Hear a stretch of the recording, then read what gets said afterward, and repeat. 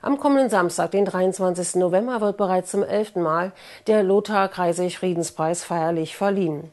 Der Friedenspreis geht in diesem Jahr an das Bündnis für Demokratie und Weltoffenheit Kloster Wessra, an die Initiative Papataya aus Berlin und an Jenny Rasche als Gründerin des Vereins Kinderhilfe für sieben Bürgen. Der Preis ist mit insgesamt 4.500 Euro dotiert und damit für jeden Preisträger mit 1.500 Euro Preisgeld verbunden. Engagement von unten, das ist es, was in heutiger Zeit wichtiger ist denn je. Das Kuratorium der Stiftung hat die Preisträgerinnen und Preisträger ausgewählt, weil sie die Menschlichkeit achten, das Naheliegende tun, die Probleme ansprechen und sich dabei mutig, selbstverständlich und friedlich engagieren, so Stefan Hönnen, Superintendent des Kirchenkreises Magdeburg und Vorsitzender des Kuratoriums Lothar Kreisig Friedenspreis.